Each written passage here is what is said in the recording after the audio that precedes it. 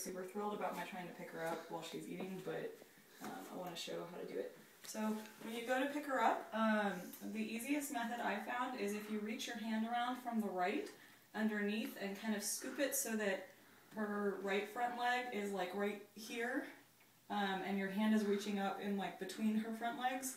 Um, so you're kind of like cradling her front chest. Um, and then of course she jumps down when I try to do it. But if you do that and then scoop up her back legs with your other hand. Oops. Hey Sicily, come here. Come here. Come here. Good girl. Good girl. I know you don't want to right now, but you can kind of catch her back legs, see? And just kind of support holding them, and she's not super in the mood to be held right now. So generally, if she's squirming, don't continue to try to hold her, um, because she'll just squirm more, and we don't want her to accidentally scratch you or anything like that. Um, but, so that's one way to hold her, and then the other way, and I'm just going to try to do it really quick, I don't know how cooperative she'll be. Uh, yeah, sometimes also when she doesn't want you to hold her, she'll like roll over onto her side so that I think she can use her feet to defend herself more if you try to pick her up. Um, so she might not let me pick her up. Um, but let's go ahead and try. Just for the sake of the video.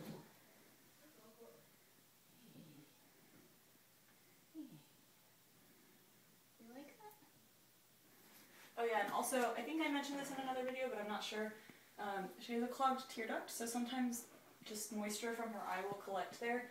Um, and if you let it collect for too long, sometimes it'll start turning like brownish and gross and the skin in that area gets infected.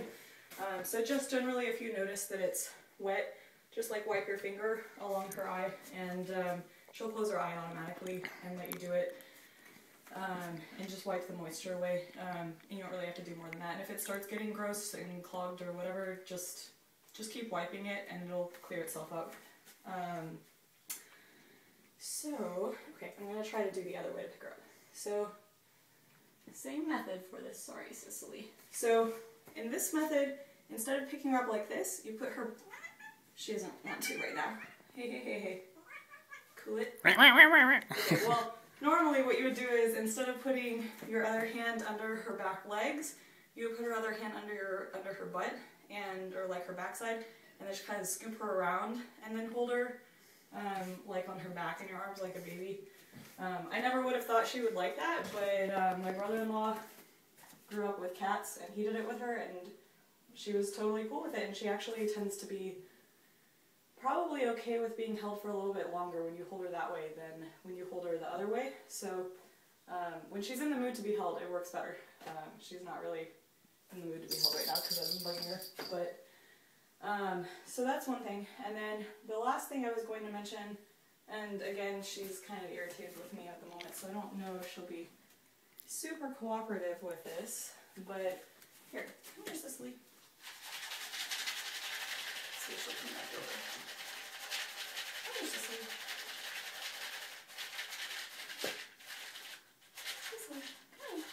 Oh yeah, also generally don't try to pick her up out of an enclosed space because um, I think that in general if you have to do that, you kind of have to reach forward like past her face to pick her up and since she doesn't really like you reaching past her face that just, it doesn't really end well.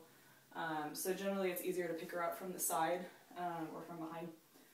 Um, but anyway, she's probably not going to let me do it right now, but actually let me try one thing.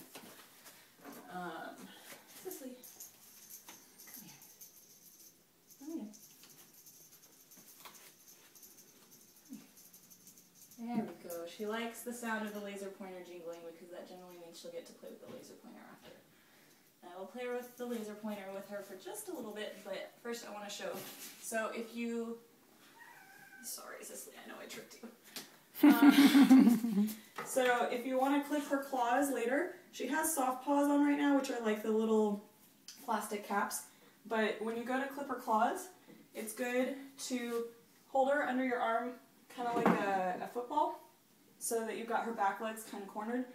And then just pick up one leg, have one hand in front of her, pick up one leg, and I don't know if you can see this very well, but you get your finger kind of right underneath the part where her joints are, um, and you just kind of rub your finger back and forth.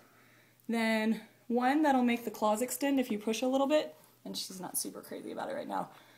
But one, it'll do that, and then two, um, the vet actually taught me that that um, starts. What is it? There's like a instinctive reflex to groom or something when you do that. So it um, kind of it's calming, and if you talk in a soothing voice while you're doing it, then you can generally do it pretty quickly. And same thing with this one right here. You can push that out. So you'll see she's letting me do this right now, and if you know she had no claw tips on um, and she needed her claws clipped, then I could probably go ahead and clip a few claws. And when she starts getting kind of antsy and starts trying to put her head in front of the the clippers, then generally that's a good time to stop and then resume claw clipping a little later when she's calm again. Um, so anyway, um, so that's that, and then I'll go ahead and play with her a little bit since I tripped her with the laser pointer. so.